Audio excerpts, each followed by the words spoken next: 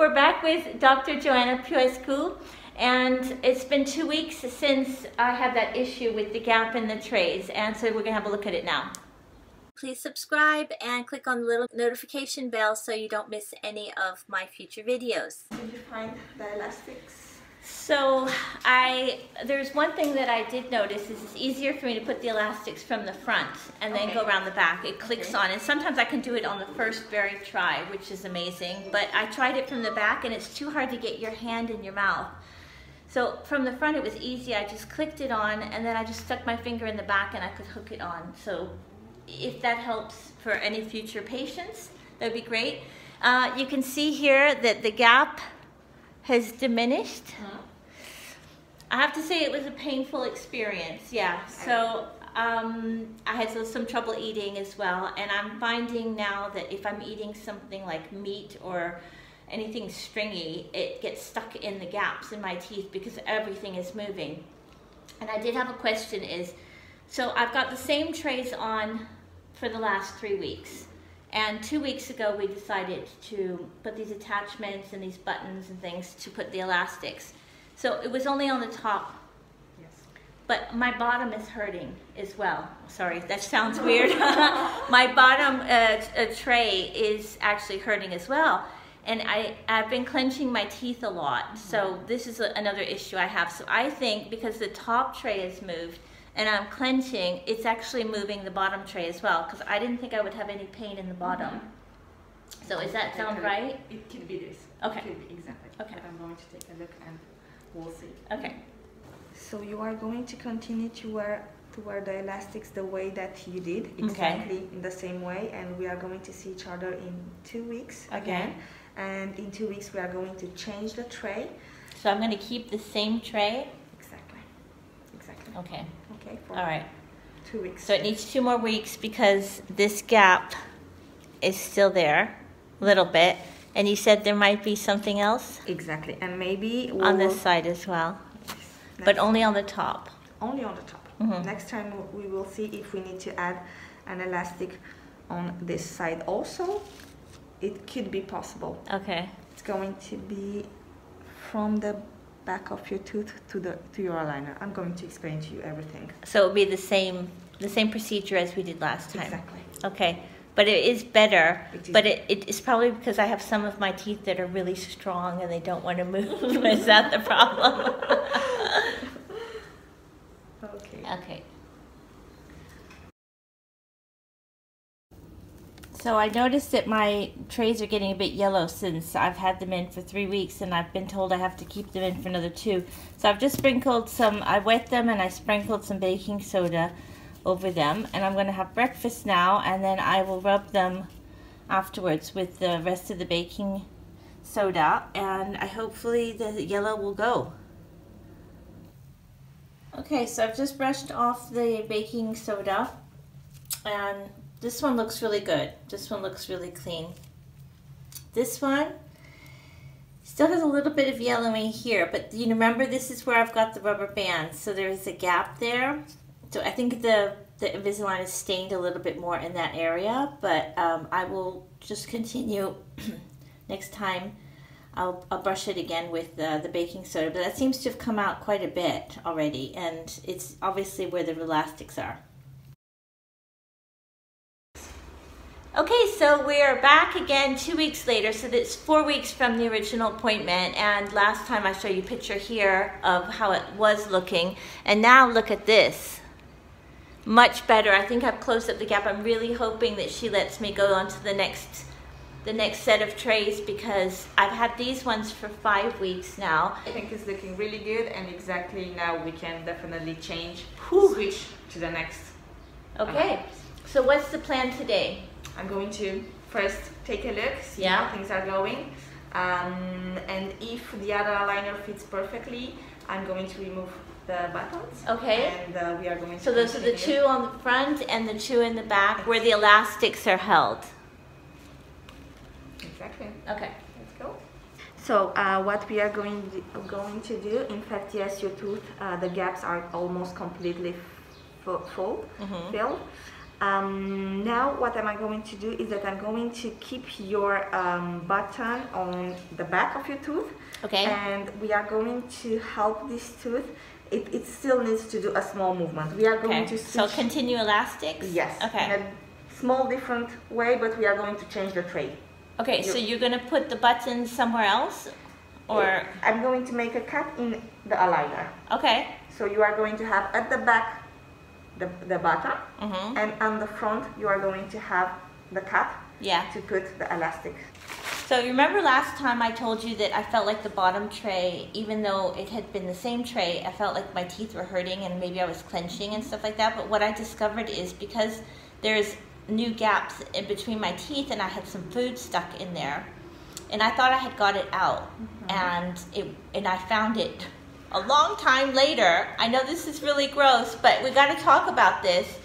And that's why the teeth were like moving still was because there was something extra. And I tell you, it didn't take much, but mm-hmm. it makes a big difference. So now, even when I'm using the dental floss, I really like make sure it makes the right kind of like squeaky noise that you need that you know that there's nothing else in mm-hmm. there because it really makes a big difference. And I really suffered with that and I couldn't understand why after a week of wearing the bottom tray it was hurting. After the week it, where it wasn't hurting. So that if that ever happens to you you know that there's something stuck in your teeth and it's still moving them around a little bit because it's like expanding. Exactly. And maybe you should start floss but also using interdental brushes.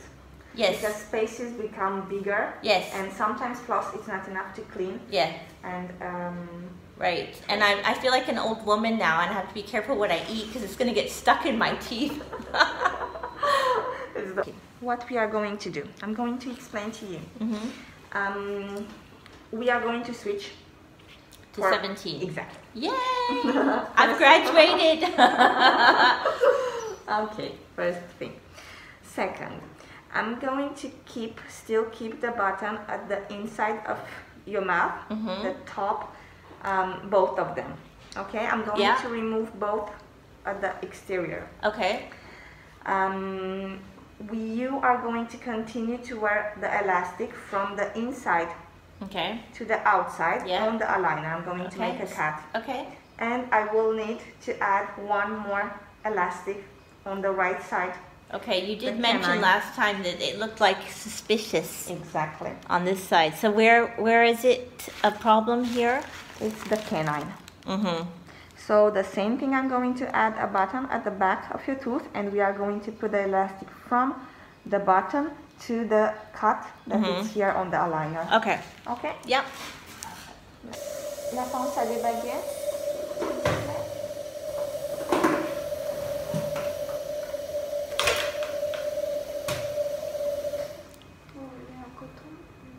J'appuie.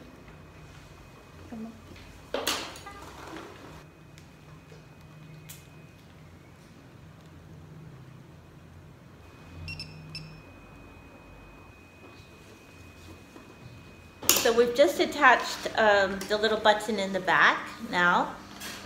And I thought you were going to put one of the little white buttons on the front, but you you're telling me that it's just a cut in the aligner. Okay.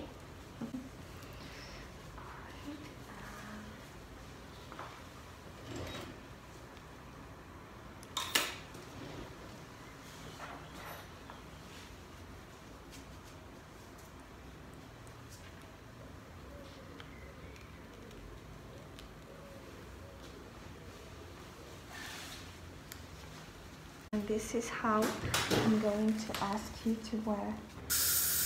Now, anyway, we are going to have a next appointment and we are going to check before um, changing the aligner. Mm -hmm. But the same thing as we can see, for example, you we, before uh, changing the aligner, you always must check that here in between the tooth and and the um, aligner there is no more space. Mm -hmm. It's normal to have a space now for every tooth because we just took this out. You just put this aligner Okay, on. so then, so in a week, I should check and make sure it looks like it's it's fitting that we don't have the gap in there. Yeah.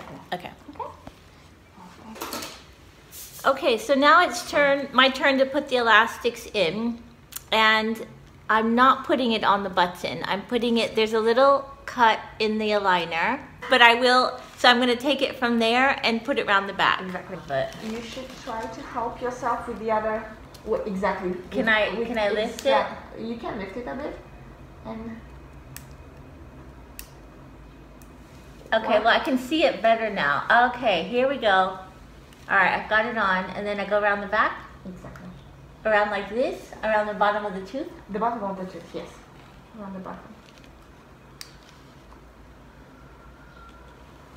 First try.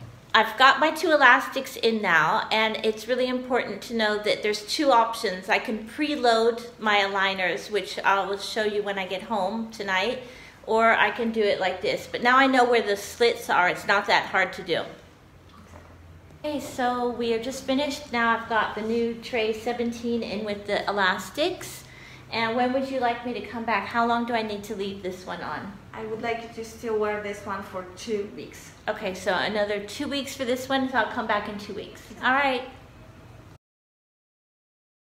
Today I got trays number 17, and I don't know if you can see that, but there's like a little cut right here on both sides and I'm supposed to put my elastic bands uh, over that around the back of the tooth as you saw today. And it was really hard to do when I was in the, the orthodontist chair. So I tried it like this. So I'm going to preload both sides of the tray like this and I'm just going to hold it down.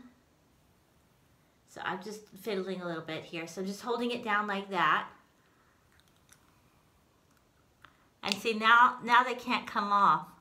And I just feed it around the back. So, oh, so, sometimes it does get snapped back at you. You have to get used to it.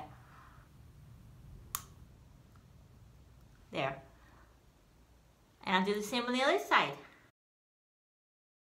I have actually gotten pretty good at putting these elastics in now. It was really complicated at the beginning and there's this little hook, but I've actually figured out I can just slide it on like that. See?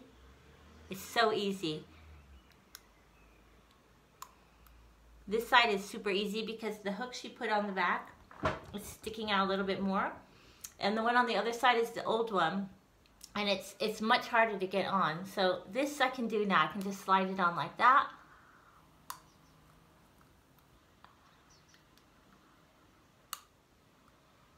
There.